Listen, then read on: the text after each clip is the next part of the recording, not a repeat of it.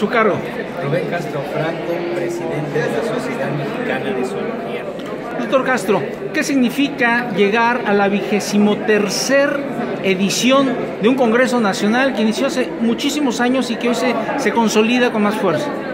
Significa haber sumado esfuerzos durante muchos años, 40 años en forma continua, diversos grupos de investigadores, diversos estudiantes, diversas instituciones, pero sobre todo la difusión, la formación de recursos humanos y sobre todo la siempre buena disposición de todos esos elementos para que siga creciendo la zoología en este país.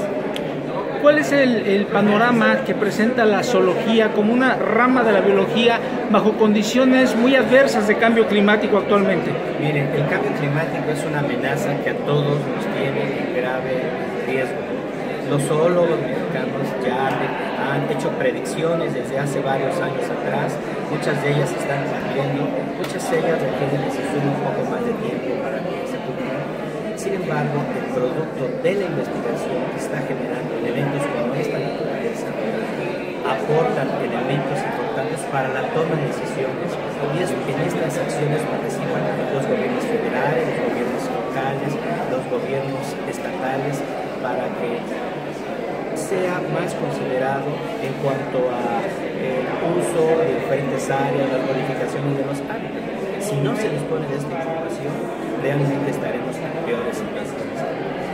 Desafortunadamente, no todo el conocimiento que se genera en estos congresos es aplicado porque algunas veces falta sensibilidad de las entidades políticas de este país.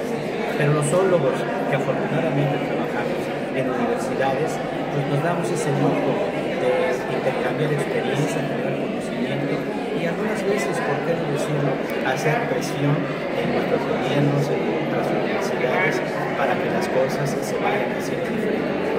Finalmente, Chiapas a nivel estatal, a nivel nacional es el segundo estado de la República Mexicana eh, con mayor biodiversidad que existe, megadiverso, vaya.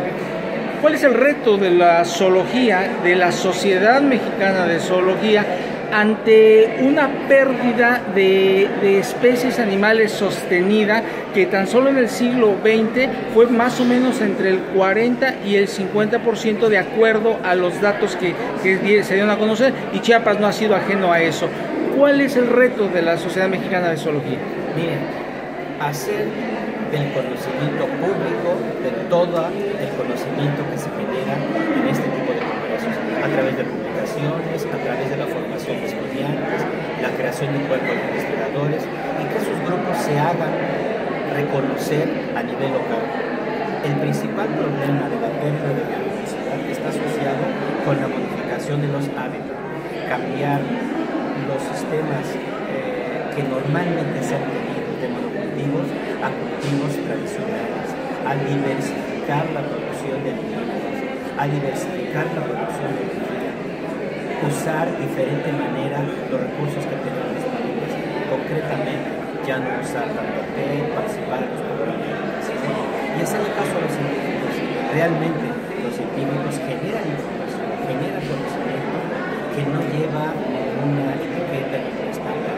Y está ahora, esto no es solo en el, en el Chiapas, en realidad a nivel planetario ha habido una enorme pérdida de biodiversidad. Entonces, las redes, por eso en el discurso de la educación yo refería a que estos eventos son una magnífica oportunidad para que interactúen profesores, investigadores, se creen redes de colaboración, de cooperación y se estén tomando medidas que vayan a conservar la biodiversidad. Por ejemplo, la creación de áreas naturales proteger las que ya están, hacer que los que están establecidos en las áreas naturales hagan un uso adecuado de los recursos. Pero para que eso ocurra se requiere información, la información que se genera en estos momentos. Muy bien. Muchísimas gracias, doctor. Nuevamente su nombre, por favor. Rubén Castro Franco, de la Universidad Autónoma del Estado de Morelos, herpetólogo, me dedico a la ecología, conservación de anfibios y reptiles de zonas y como funcionario de la Universidad Autónoma de como director de educación superior. Un saludo.